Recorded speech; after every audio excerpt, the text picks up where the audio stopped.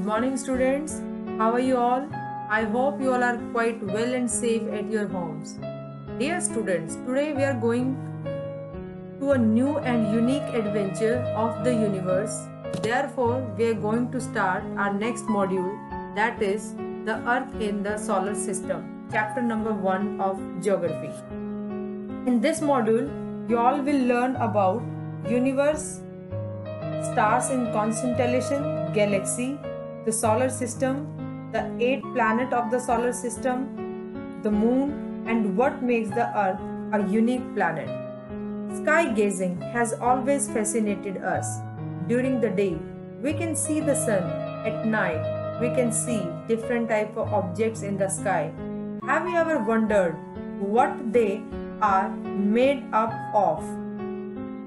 What keeps them floating in the space and whether we can reach or not?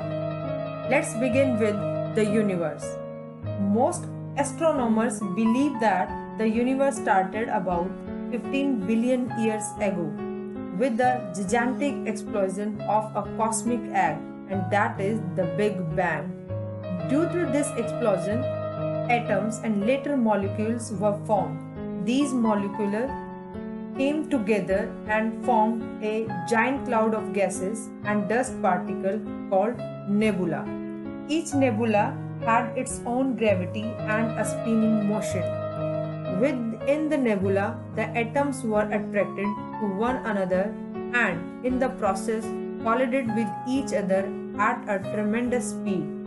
This gave out an enormous amount of heat, so much so that glowing bodies such as the stars were born out of nebula.